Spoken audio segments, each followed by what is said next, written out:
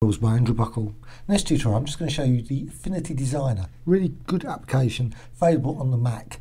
Uh, it's a vector application and it's got loads and loads of great features, some that are pretty unusual for a vector app. So I'm just going to go over here and I'm just going to go to show you the double star tool and uh, so just select that and you can set the fill, stroke, etc. The usual standard things you can with uh, most uh, applications. So I'm just going to just drag that there and right, once I've actually done that, I'm actually just going to go for a, a solid colour. So I'll just change that.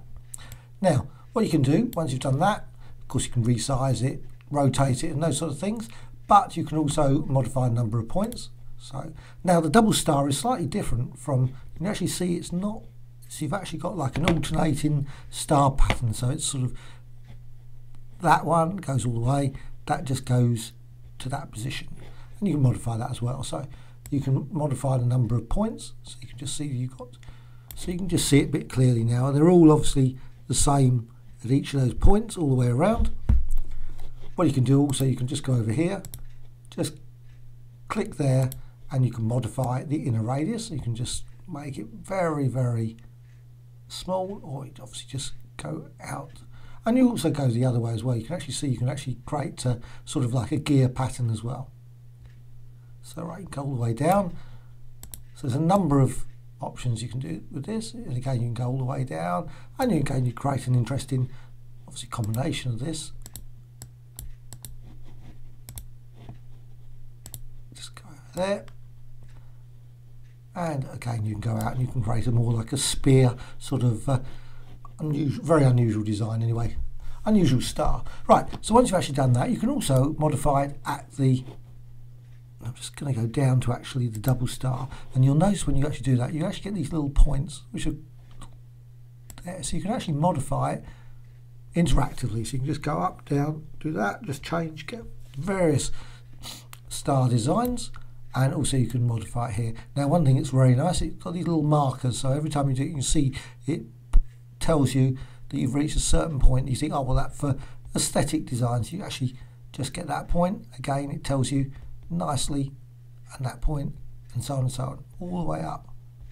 And again, you can go all the way to the top, and you get this sort of flat star starburst sort of design, which is really quite nice as well. So there's a number of options, and you go all the way down again, like that. And again, you go the other way. So, once you've actually decided that's the star I want, and it's, it's a pretty nice star and very probably pretty tricky to do in uh, Illustrator. I mean, obviously you could actually do uh, maybe obviously two stars, rotate it slightly and uh, combine them. That might be a quick way of doing it. So once you've done that, now you can actually also convert to curves, which is quite nice. So just quickly click, and it's obviously lost that facility to actually modify the, so you can actually go here and just select the individual points which is quite nice. So you can create a, maybe slightly more unusual stars. But you've still got the basic star already created. And you can, of course, modify and move that. If you actually accidentally just tweak it like that, you can actually add a sort of rounded section as well. So, right. And another thing which is really good about this Affinity is you can actually quickly go through this. So if you say you make a mistake, like I've just done, you can actually just go back and you can go very quickly through this little undo, which is really nice. And you can go back to the point where it's actually still a star. So you can still go back and modify it. And again, of course, you've got a whole range of different styles which can be quickly applied.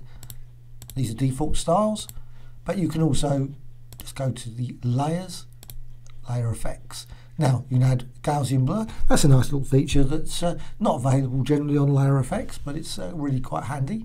I quite like uh, Gaussian effects. You can actually just quickly blur, and it's a live effect. And again, add usual outer shadow, 3D ish. Not particularly what I would think of 3D, but I'm certain that uh, gives a 3D like effect. But I must admit, extrude would be much nicer to actually extrude it at this point. Anyway, you've got bevel, boss, and much more. Most of them, unfortunately, you can't see when you've actually got the Gaussian blur on, so it's not so clear. Right, Anyway, and again, it's all still pretty interactive, so you can actually still modify it when, obviously, it's a little bit noticeably slower when you've actually got the layer effects also being applied. As you can see, it just, but you can still quickly create many kinds of designs